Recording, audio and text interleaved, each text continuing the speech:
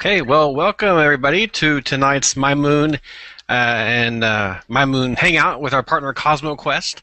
Uh, my name is Andy Shaner. I'm at the Lunar and Planetary Institute in Houston. And with us tonight is Dr. Catherine Neish from NASA's Goddard Space Flight Center.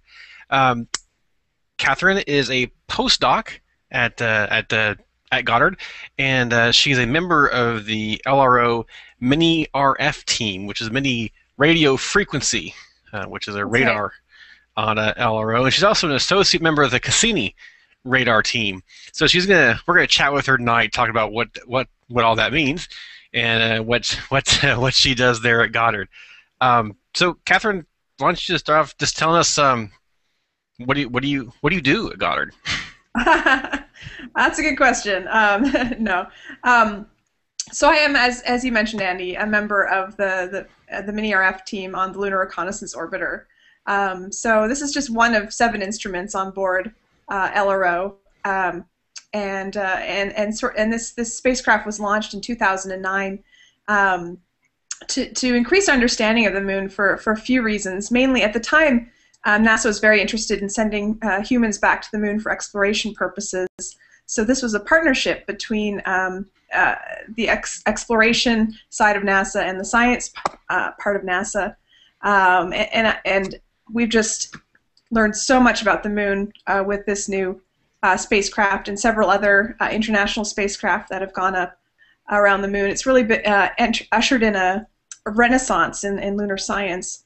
Um, and, and, one of the main focuses of, of LRO was to look for resources for astronauts. One of the most important being uh, ice, for example. So um, I'm not sure if you guys have heard, um, but very recently the Messenger spacecraft around Mercury um, confirmed that there's large deposits of water ice near the poles of Mercury, which seems kind of crazy, given that Mercury is the hottest, um, you know, planet in the solar system. Um, but it turns out uh, Mercury, just like the Moon, has these places uh, called permanently shadowed regions near the poles where it gets cold enough uh, to trap volatiles like like water ice and other um, other things that are normally uh, in a vapor phase on these planets. So so one of the main points of LRO was to look at the poles to determine if there's water there and uh, and how much there might be. Um, and the way we, we help with mini-RF is it turns out that uh, large deposits of water ice have very unusual radar signatures. So we're we're basically taking a big radar flashlight and pointing it at the poles of the moon um, to see if there's any bright radar return there that might be indicative of ice. Um, so that that's one of the things I do. Um, and there are plenty of other instruments on board LRO that were also put there to help us um, understand whether or not there's ice there. And of course, we all talk to the other other teams and try to come up with sort of a, a whole picture about the moon and what's going on there. Uh, so that's that's what I do in a nutshell. Okay, great, thank you. Uh, if those of us, or I'm sorry, those of you that may have just jumped on recently uh, during the middle of Kathryn's talk, uh, little bit there. Uh, we're talking with Dr. Catherine Neish from the NASA Goddard Space Flight Center. She's on the uh, Mini RF team, uh, instrument team on, on, the Lunar Reconnaissance Orbiter. And I just want to remind everybody that uh, if you have any questions um, for Catherine, you can uh, put that either on our the, the event page uh, for this hangout on YouTube if you're watching it on YouTube, or via the Twitter hashtag MyMoonLPI, all all one word, and you can see it there on my under my name there in the lower third. So yeah, Catherine, Kathryn, that's that's a great point you brought up about LRO. That it's it, it was really this cross between sci- bringing science and exploration together, and in fact, that's um I think that's it's it's mission's motto or something. It's on like the the logo I think for LRO, but it's like in Latin. Possibly, um, I don't know. Yeah. yeah. so have you have you obviously you're doing some of the science for us. Have you done anything in terms of the exploration? I mean, right. like you said, they're, they're, they're together, which so it's kind of yeah, hard to. Yeah, yeah.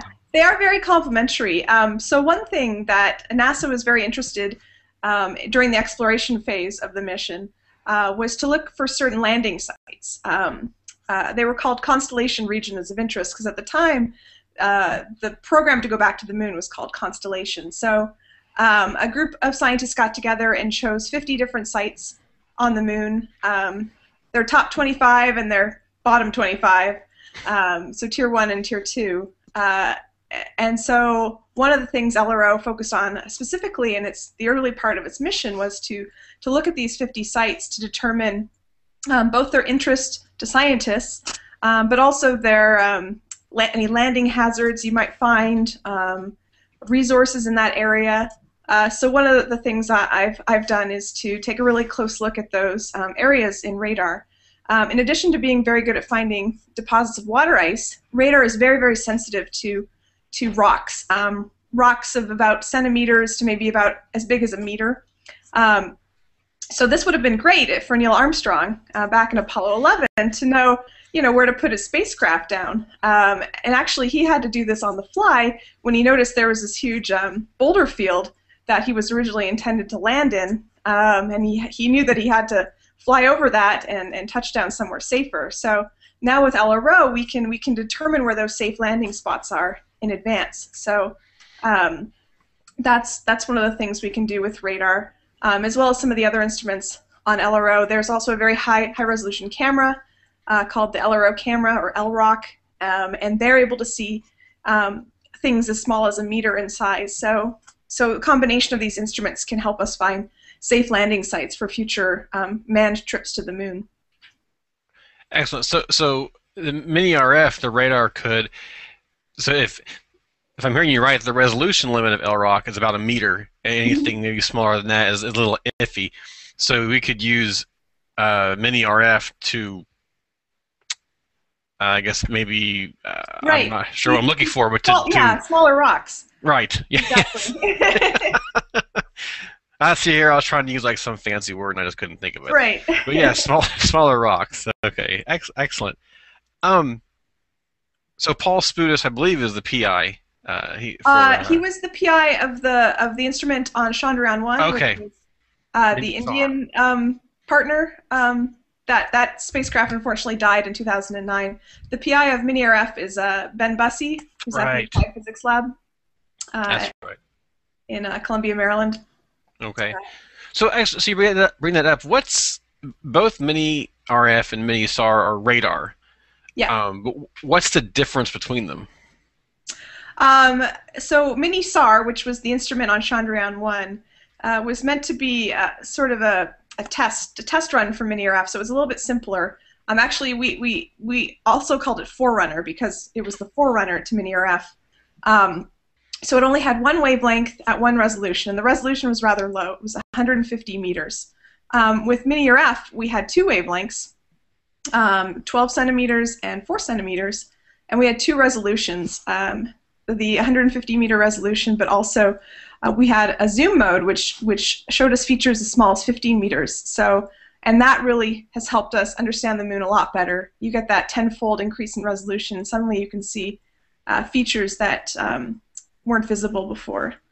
Um, so most of the data we got with Mini RF are at that 15 meter resolution. Great, very good. Um, and I want to ask one more question, and then we'll um, see maybe if there's anything over in our view. Any of our viewers have a question, but um, when, when a lot of things first started coming out, a lot of the data started coming out. I heard this term called circular polarization ratio. Yeah. Now I have no idea what that means, and I have tried to understand that. Is Is it really that complicated, or is no, there a really simple way to explain what this is? Very simple. It's very simple. Unfortunately, it has the acronym CPR, so it sounds like you're doing emergency medical, you know, assistance with somebody. Um, but all it is is uh, is a ratio. So just like you know, the simple math you learned in grade school, where you take one number, you divide it by another number.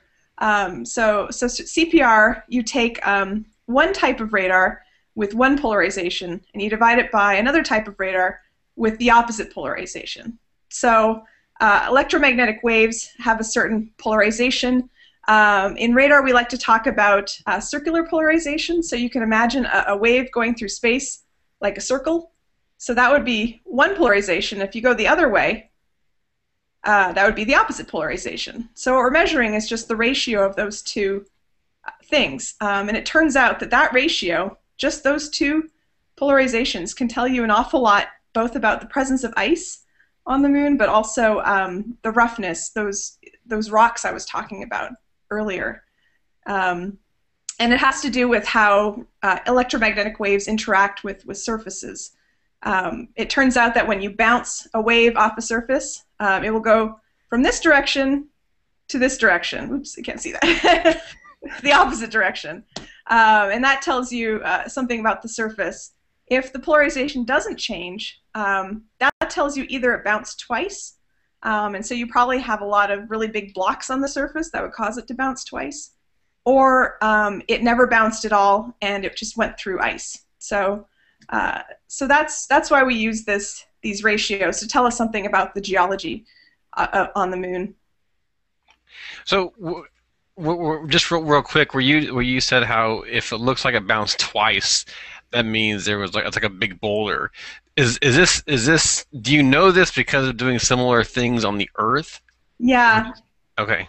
Yeah, actually, there's a great analog on the Earth. Um, it's called SP Flow. It's in uh, it's in northern Arizona. Uh, if anybody's going up to the Grand Canyon, you can make a bit of a detour um, and see this wonderful lava flow that's basically made up of radar-sized blocks. um, so just imagine, you know, 20 centimeter sized blocks all stacked on top of each other that made up this lava flow. Um, so what you're getting is a bunch of corner reflectors. So you get the radar bouncing off. Uh, hang on, let me see if I can get twice off the blocks, um, and so you get it's called double bounce backscatter. Um, and, and this this ra- this lava flow in northern Arizona has enormous circular polarization ratios. Um, and, but there's no ice there. So clearly, there's, there's more than one way to, to cause these these high uh, ratios. Um, so yeah, so we use terrestrial analogs all the time to help us understand what's going on on the moon. It's okay. been very helpful. Oh, I bet. Yeah, I've sat on that on that lava flow. It's yeah, it hurts. Um, yeah. so we we have a couple of questions from our viewers. Uh, Michael asks, uh, "Can radar detect live meteor strikes and if so, was there any detected? Um, you know, I think they use that in the Earth's atmosphere um, to look for, for, for meteors striking the Earth. Um, I don't know too much about that, but uh, that you can see within the in the terrestrial atmosphere. Um, in terms of the moon, uh, I think I don't think you you'd be able to use radar uh, to see that. They're so infrequent. Um, it's very unlikely. I think we won't be able to see that at all. Although we do, um, we do have some folks looking for new impact craters on the moon. So they're taking uh, pictures that we took in the 70s with Apollo and comparing them to brand new images that were just taken by LRO. So you've got a time span of about 30 years there. Um, and you can find new impact craters that weren't there 30 years ago but are there today. Um, and so that's one way we can, um, not radar, but the LRO spacecraft can help us to understand how many objects are striking the moon in the present day. Cool. Uh, another question from Eve. So I think this is in reference to CPR. Uh, so it is kind of like dual polarization. Uh, so is it kind of like dual polarization in weather or Doppler radar? Meteorologists use this to determine types of reflectors, that is, rain, droplets versus ice crystals or or hail, etc. Is this a similar idea? Uh, possibly. You know, I don't know a lot about uh, weather radar, um, but the principles are, are the same. You're taking a signal and you're bouncing it off raindrops or hail or, or whatnot and, and receiving a signal. Um, but I don't. I, I, guess I don't know enough about the different signatures from rain versus hail uh, to say if it's the same thing. But um, it certainly seems plausible. Uh, terrestrial radars, like like weather radars or radars that track uh, airplanes. Very similar concepts. Uh, the only difference really is the scale involved. Um, with terrestrial radars, you're only going out, you know, hundreds of miles at most, whereas um, with planetary radars, you have to be able to span, um, you know, uh, astronomical units um, in some cases. So you need really, really powerful radars. Uh, that's that's that's the big difference. Uh, but in general, that they're very similar uh, in concept. Yeah, see, and you did some of that uh, work with bouncing radars across distances of astronomical units when you were in, in uh, well, you were an intern at Arecibo. Right. Yeah. For, for yeah. a summer. I, yes, I, I worked at Arecibo uh, Telescope, uh, largest radio telescope in the world down there in Puerto Rico, and they've used that to um, to look at objects as far away as Saturn, uh, Saturn and its moons. So that's uh, eight astronomical units away. Um, so these radars are very powerful and, and can see very large distances. Um, you know, with LRO, you're only say 50 kilometers above the surface. It seems easy by comparison. right. Okay. Well, thank you uh, for your questions, Michael and Eve. Hopefully, we'll get some more uh, uh, here in, in, a, in a little bit, unless maybe we have some now.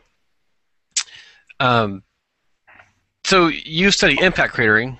Um, I don't know specifically what you have. That seems to have been kind of a focus. Um, so are there any, or, or maybe the question is, what are the advantages to using radar to study impact cratering versus visual imagery or even topography data? Right. Um, well, radar has a big advantage um, in that it can see below the surface. Uh, not very far. At the wavelengths we're talking about, you can see maybe a meter or two below the lunar surface. Uh, so this allows us to see blocks and features that uh, you can't see with optical imagery. Because with optical imagery, all you're detecting is the very top, you know, micron or nanometer of the surface. Uh, and with radar, you're, you're probing underneath all that dusty regolith on the top of the surface to see blocks or um, uh, melt that's formed in impact craters. So uh, one of the things in particular that I've been doing is uh, using radar to uh, detect new impact melt flows on the moon, um, which might be buried over time. Uh, so impact melt is something that's commonly formed in, in, in impact cratering events when the, the projectile hits the surface, uh, generates you know very high high pressures and temperatures, and the substrate melts, um, and it turns into essentially a short-lived lava flow um, that can then spill out over the sides of the crater um, and produce produce these these melt flows. Um, but they degrade pretty quickly over time, um, so you might not be able to see them with optical imagery. But with radar, where you can probe beneath the surface, you can detect them very easily. So that's one of the things, uh, one advantage radar has over optical in studying impact craters. Okay, that's well. That's a that's that's a that's a good advantage to have. Uh, and Nick Nick asked a question: Which has more ice now? I'm not sure what he means by now, but which ice has which which has more ice now, the north or south of the moon? You know, we don't know the answer to that question. Um, I could make some guesses, but um, from the data we have now, uh, it's it's not entirely clear. Um, so un- unlike Mercury, the moon isn't quite uh, as bright in radar, um, but there are a few interesting craters uh, near the north and south poles that, that, that do have this intriguing radar signature that might have ice in them. So if we're basing it on, on that measure alone, um, I would say there's probably more unusual craters near the north pole of the moon. Um, unfortunately, uh, the LCROSS spacecraft, which is the only uh, spacecraft to to directly detect water ice on the moon um, by impacting it. Um, this happened in October of 2009. Um, it, it, it, was aimed towards the South Pole. Um, so we have a very good idea of one place on the South Pole and how much water ice is there, and it looks like there's about 5 weight percent. Um, but there hasn't been a comparable mission to the North Pole of the moon. Um, and again, that's just one spot on the South Pole. So I'd say right now it's, it's hard to tell. Um, but if I had to guess, I'd probably I'd probably go looking at the, the North Pole. Um, it, there seem to be a lot more promising candidates up there. And what do you mean when you say the moon's not as radar bright? Um, so so ice has a very bright radar signature. Um, and you see this on Mercury very very plainly. Um, there are craters there that are in constant permanent shadow uh, which are very bright in radar return. And MESSENGER has confirmed that these, these craters are in fact filled with, with water ice. Um, there is uh, evidence from uh, a neutron spectrometer that this is consistent with water ice. Uh, neutron spectrometers are, are detecting the amount of neutrons coming off the surface of a planet, and since hydrogen has the same mass as neutrons, um, where you have hydrogen, you have less less uh, neutrons.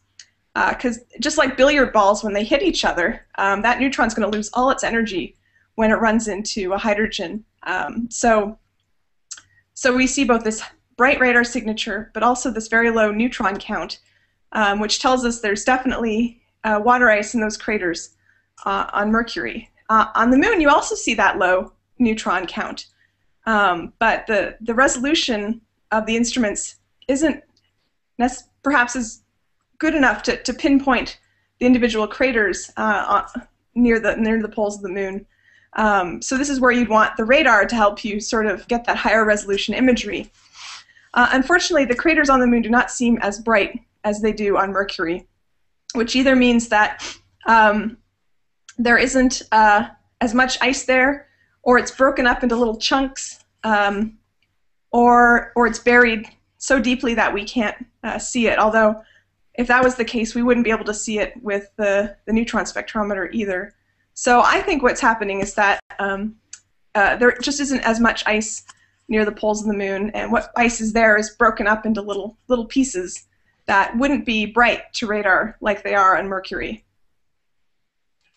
So, so when, okay, so so when you say something is is radar bright, does that mean like it's it's it it looks bright? Yeah, like yeah, like, like there's a lot of light bright. coming from it. Well, it's it's your own reflected light. So you you take your radar flashlight and you shine it at these craters, and what you're getting is just that light reflected straight back at you.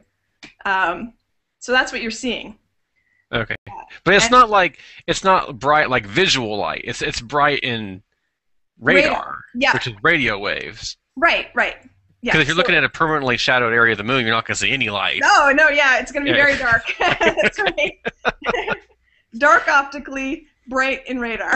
right. Okay. So, because radars, you like I said, they're flashlights. You're bringing your own power source, whereas optical imagery, you're relying on the sun to see inside those craters. And since the sun never shines in those craters, you don't see the craters in visible light. Right. You need a really big flashlight to see inside craters. Like the sun, but it. But in a different place. Right. you could move the sun to a different place in the sky. Okay, so we get a couple of more, or at least one more here. Um, what transmitting power do you need for having good signal to noise with these bodies like Moon, uh, Mercury, Venus, or Titan? I think it's like a megawatt. I could be wrong about that. Um, yeah, something like a megawatt. I'd have to double check, but that's what's coming to mind straight away. Um, yeah. So we do sometimes have problems with Arecibo where the transmitter fails, um, and then you're you're not able to uh, to to see uh, anything really. Uh, but when it's working, um, you've got quite a powerful radar there. they actually um, shut down the road that circles the, the telescope. So it's about a kilometer around or um, 300 meters uh, across. And when the radar is on, uh, they actually um, there's some lights that, that are flashing at the observatory telling people not to go to go down there because um, oftentimes people will go down there to go jogging or to take a walk um, but they don't want you to be microwaved so so when the radar is operating they, they advise that you not go down there wow all right well thank you for that from sylvan looks like maybe they jumped over from learning space to come to our hangout so thank you for doing that, that that's great um, so um, I don't. Maybe it's just me. Maybe maybe you know this. Me know better about this, but it seems like maybe the use. It appears as though the use of radar on spacecraft maybe is becoming more popular, or has it always been there and it's just kind of been lost in the background to like the visual imagery and and spec- spectroscopic data? No, actually, radars have been relatively rare, and I think the reason for that is they were quite big and heavy and and consumed a lot of power. Um, and so if you have a spacecraft and you want to get as much data from it as you can, you're going to take the small, light, you know, uh, instruments that don't require as much power. Uh, so back in the 90s, one of the big missions then was Magellan, which was a, a, radar mission to Venus. And there it made perfect sense to have a radar because you can't see through the clouds uh, of Venus with optical imagery. But the whole spacecraft was a radar. It was big and heavy and used up a lot of power. Um, what I think we're seeing now is that radars have improved to the point where you don't need the entire spacecraft to be a radar. Um, Mini-RF is just one small instrument on on on LRO, and there are you know six other instruments on board. So you're not consuming your entire spacecraft with you know just one instrument. Um, so I think just the, the technology advances has, has led to a bit of a renaissance in in uh, in radar technology because we use them all the time on the Earth. There's some very sophisticated radars that are currently orbiting the Earth. Um, the Earth is in fact the, the best studied planet in radar, um, and so now I think people are looking at applying these technologies to other planets. Cool, very cool.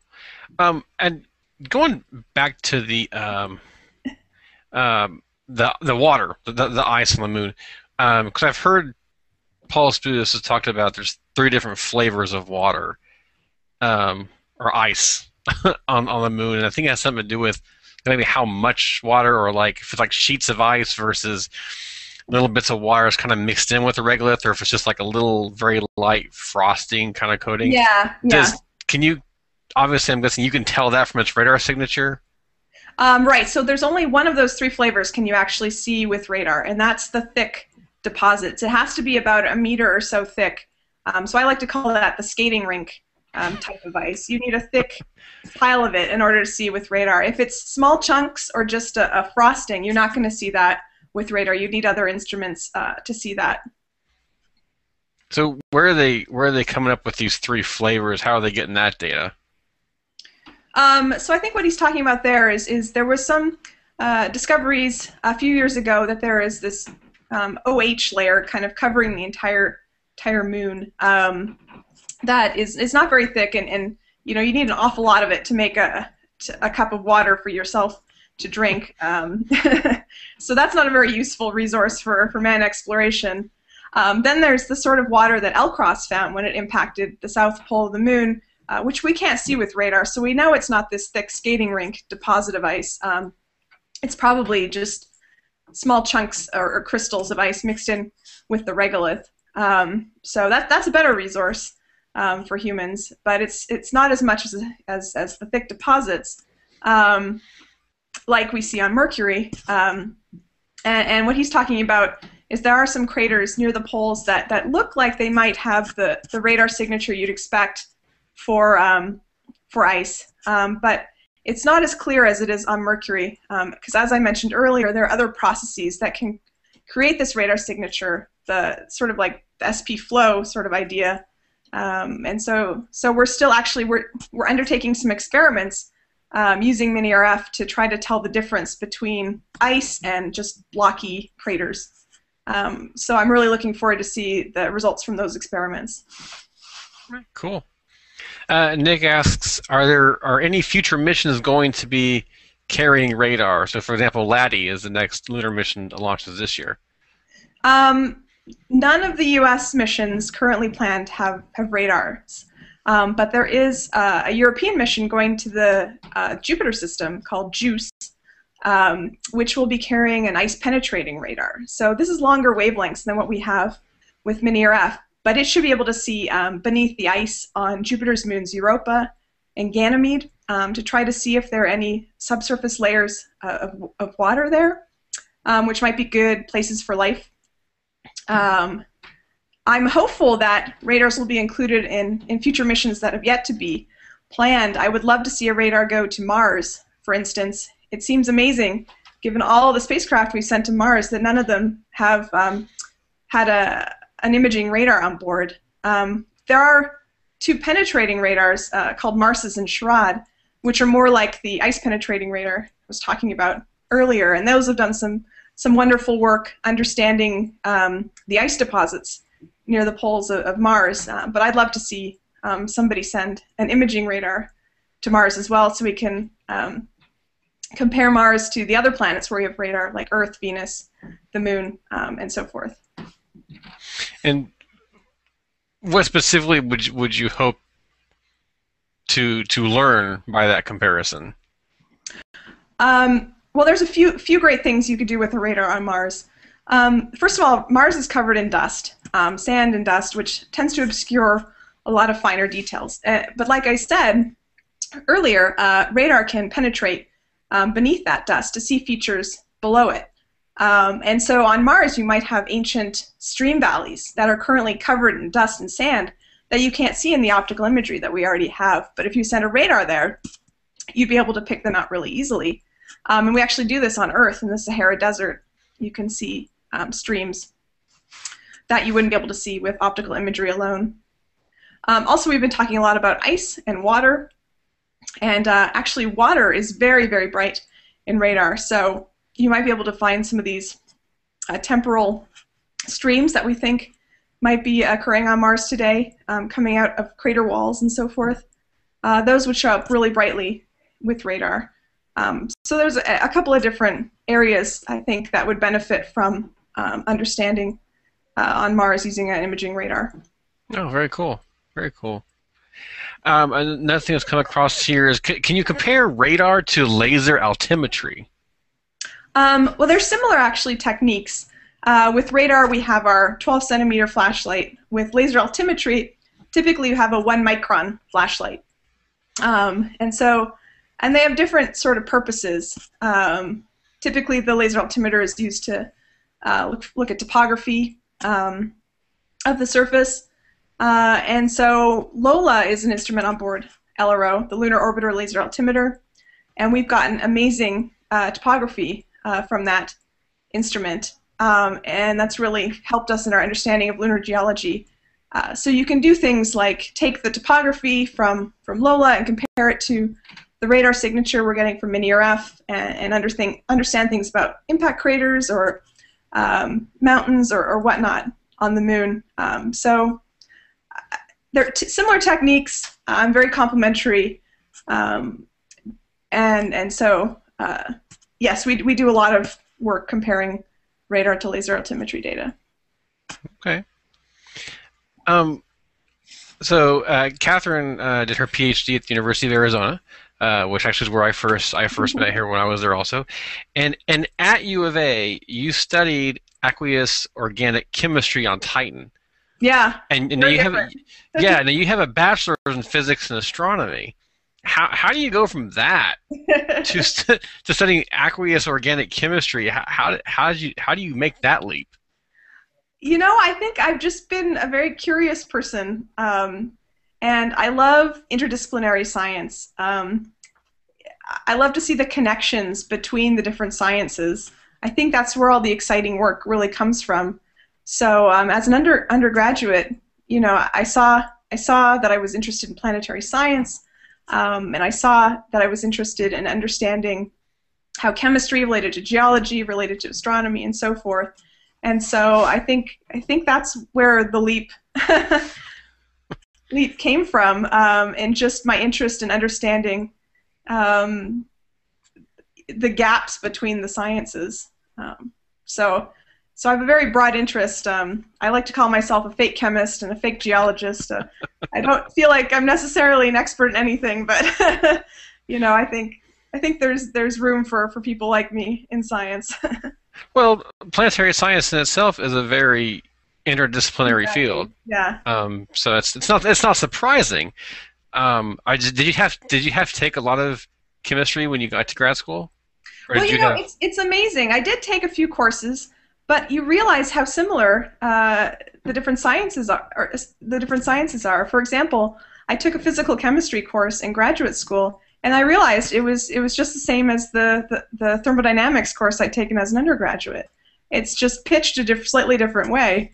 Um, so the sciences aren't so different as you think when you start, um, you know, studying them in, in more detail. There's a lot of overlap. It's just a different way of describing the same process. Interesting. Very interesting. Um,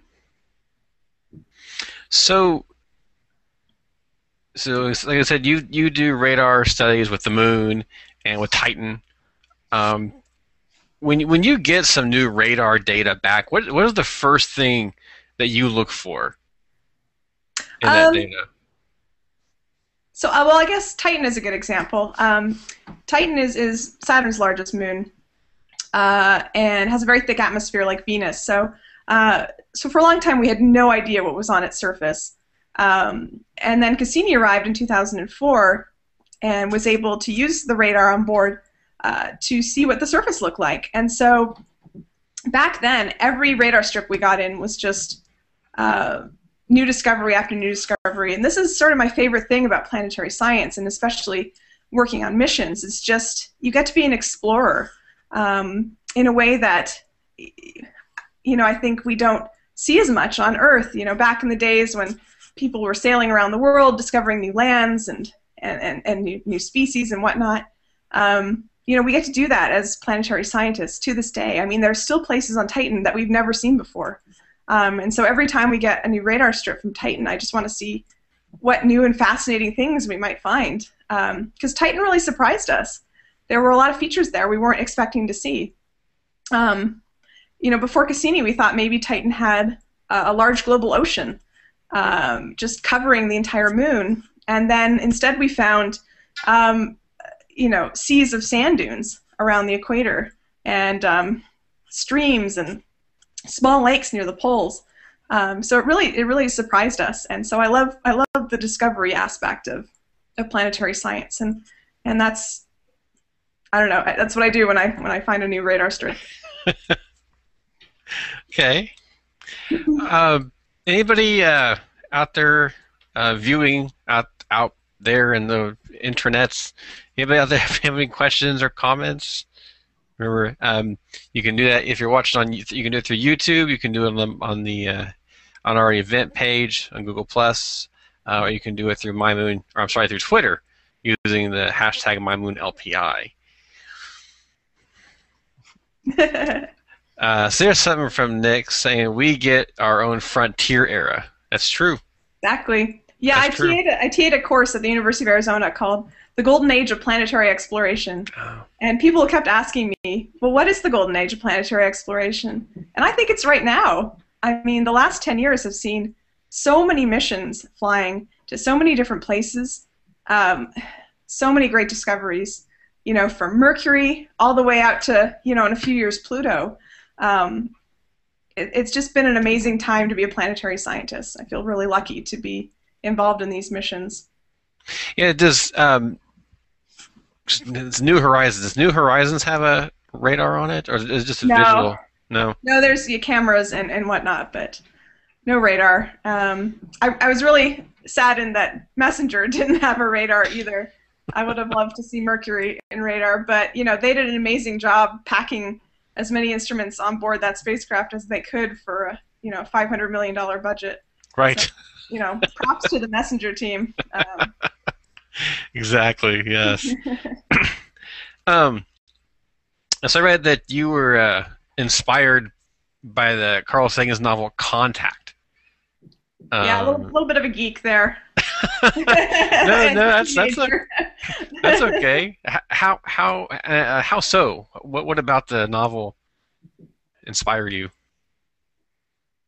You know, that's a good question. I think I think in some ways I saw myself in the main character, and you know, as a as a 16 year old girl, there weren't a lot of role models to look up to at the time, um, and so and and I saw that she was you know doing exciting science and traveling the world, and I thought that sounded amazing, and I wanted to do those things. Um, it seemed real, I guess. A lot of science fiction is uh, seems way out there, like it would never happen you can't relate to it. But I felt like Contact was relatable. It was in the present day, um, you know, with with real people doing real science. It seemed like it could possibly happen. Um, so I think that's what really attracted me to Contact and um, was probably the reason I applied for the internship at Arecibo, since Arecibo plays a, large role in that book. Um, so you know, it kind of had pretty important role in my career since uh, since Arecibo is where I got introduced to radar, and the rest has sort of been history. Um, so yeah, so thanks to to Carl Sagan for inspiring me to uh, to be a, radar scientist. Well, thinking about Carl, is I'm sure he's not. I'm sure he has inspired quite quite a quite a few people.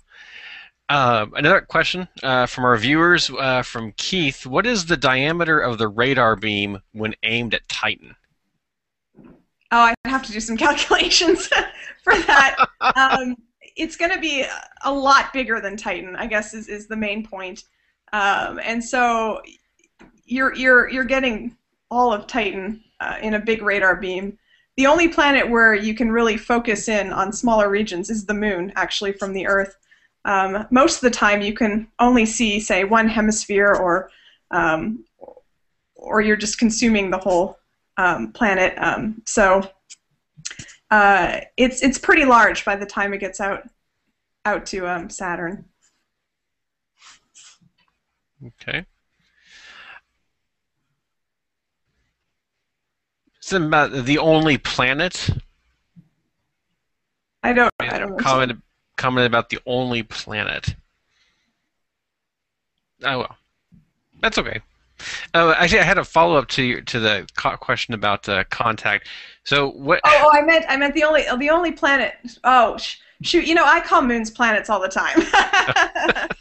um, because they are worlds unto themselves, um, and it's it's you know I mean it's it seems kind of silly to differentiate between um, something that's orbiting another planet, something that's orbiting the sun.